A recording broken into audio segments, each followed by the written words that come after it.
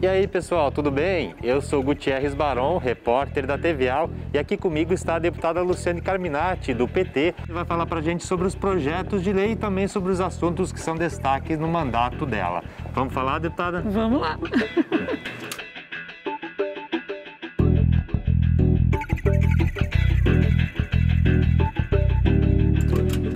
Deputada, eu gostaria de começar essa entrevista agradecendo a sua presença no nosso programa. Uma alegria muito grande, estamos à disposição para trazer as informações sobre o nosso trabalho. Perfeito, deputada. A gente sabe que a educação é a principal bandeira do seu mandato, né? E nesse momento de pandemia, o retorno às aulas presenciais foi bastante discutido aqui no parlamento. E a deputada defendeu durante esse período a vacinação dos profissionais da educação para que esse retorno fosse feito de uma forma mais segura. É isso, deputada? É isso. Nós temos um projeto de lei que está tramitando aqui na Assembleia Legislativa. Foi apresentado ainda no final de janeiro é, passou na primeira comissão, nós temos ainda outra comissão e depois o plenário.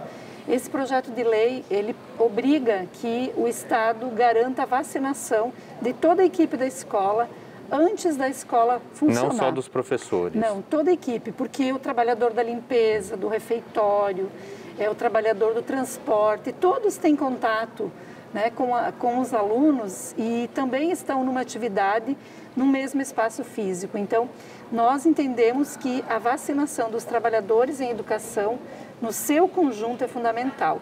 Além disso, nós temos uma tratativa nacional das comissões de educação, que estamos numa pressão para que isso avance e também estamos num diálogo para que o governo do estado anuncie as vacinas. No entanto, é preciso que tenhamos mais doses de vacinas. Aqui está o grande é, problema hoje colocado. Para que haja vacinação antecipada dos trabalhadores em educação que estão lá no final do grupo de risco, nós precisamos de mais doses de vacina. Aí é que entra também a ação deste parlamento, que permite que os estados e as prefeituras também possam adquirir vacinas.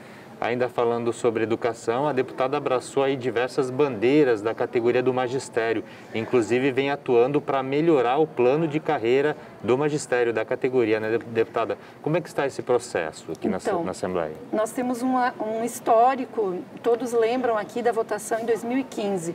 A votação de 2015, ela marcou o magistério, marcou negativamente porque se perdeu muitas conquistas dos professores efetivos e também o pouco que se tinha para os ACTs. Agora nós temos uma arrecadação recorde no Estado e, por outro lado, nós não temos benefícios que cheguem aos trabalhadores da educação. Então, aprovamos um requerimento, passou em três comissões, sete deputados escolhidos pelas três comissões. Eu vou coordenar esse trabalho e o que nós pretendemos é que, ao final de 60 dias, com possibilidade de renovação para mais 60 dias, a gente possa acumular estudos, análises, apontamentos e até, eu diria, propostas ao Executivo de anteprojetos de lei. Precisamos recuperar a dignidade, recuperar a valorização dos profissionais da educação da rede estadual. Deputada, outra bandeira do seu mandato tem sido o combate à violência doméstica. Inclusive, a deputada ela coordenou a implantação aqui na Assembleia. A Assembleia foi pioneira no, no país, né? Na implantação de um observatório estadual da violência contra a mulher. Fala para a gente como é que está esse processo e como esse observatório deve funcionar. Então, esse observatório ele agrega várias instituições, Ministério Público, TJ, OAB, nós temos o Ministério Público de Contas, nós temos o Conselho Estadual dos Direitos da Mulher, Defensoria Pública e temos o, uh, também a Assembleia Legislativa e Governo do Estado. Além de todas essas instituições e órgãos, nós queremos com isso não só ter a sala que já está à disposição aqui na LESC, os profissionais, equipamentos, o site criado do observatório, mas nós queremos esse diálogo intersetorial, esse diálogo em rede, porque a gente precisa padronizar os dados de combate à violência contra a mulher e mais do que apresentar essa padronização, fazer a interpretação, a leitura dos dados de violência no Estado e apontamentos.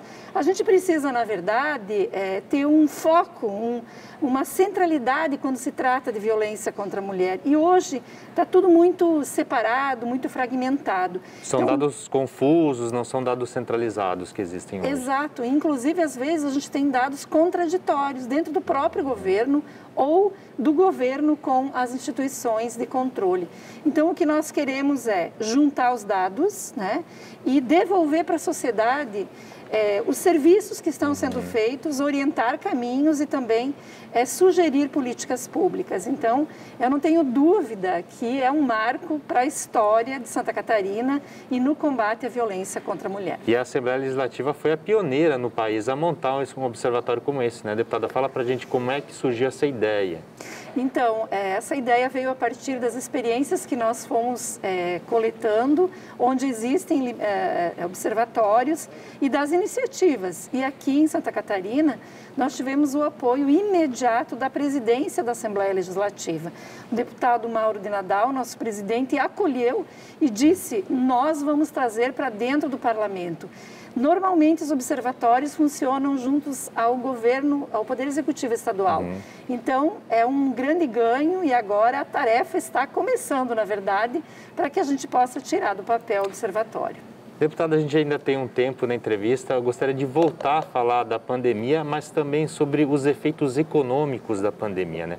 A deputada tem defendido aqui no parlamento, inclusive tem um projeto nesse sentido, que institui a renda cidadã, um auxílio financeiro para as famílias mais afetadas. Fala para a gente um pouco sobre como deve funcionar a renda cidadã aqui em Santa Catarina, caso seja aprovado o projeto. Então, é importante dizer que o nosso Estado ele tem é, tido nos últimos meses, inclusive na pandemia, recordes de arrecadação. Bom, este, este é uma análise. A outra análise, nós temos tido um aumento na renúncia fiscal, nos incentivos fiscais.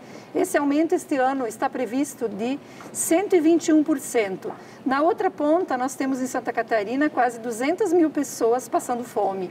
Então, o nosso projeto de renda básica cidadã garante que se dê, que se garanta né, meio salário mínimo aos usuários do CAD único, que são o cadastro da assistência social. Por quê? Porque ali está a população mais pobre, aquela população que mais precisa do apoio financeiro do Estado nesse momento. Infelizmente, o nosso tempo chegou ao fim. Agradeço novamente sua participação aqui hoje. Muito obrigada. Precisamos mais oportunidades para falar do nosso trabalho. Muito obrigada. Com certeza teremos outras. E agradeço a você também que nos acompanhou até aqui. E não esqueça que para rever este e outros programas, basta acessar o canal do YouTube na Assembleia Legislativa. Até a próxima!